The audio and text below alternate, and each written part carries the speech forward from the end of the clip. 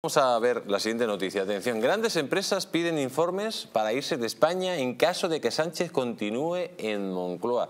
Doña Carmen, usted que es una especialista en economía, en temas empresariales, eh, estas grandes empresas habrán entrado en pánico. Eso sí me lo creo. Solo viendo todo lo que viene, porque vienen las hordas de, Atila, eh, además con las hordas de Gengis Khan unidas. Eso sí me lo creo, porque, porque que sigan estos al margen de lo que pueda pasar en Cataluña y tal, lo que puede pasar con la economía.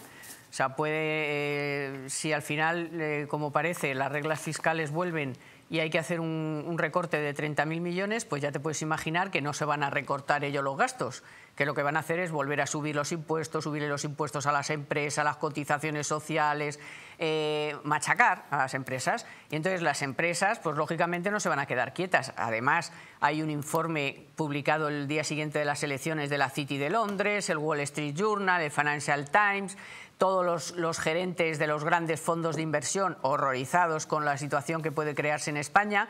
Primero, si es bloqueo porque es bloqueo, si hay repetición electoral porque el país se para otra vez y si gobiernan todos estos, pues lo peor. O sea que eso sí, de ahí no puede salir, o sea, económicamente no va a salir nada bueno de esto porque hay gente que dice, bueno, se va a chupar su propio tal. No, no, la vamos a chupar nosotros. ¿Eh?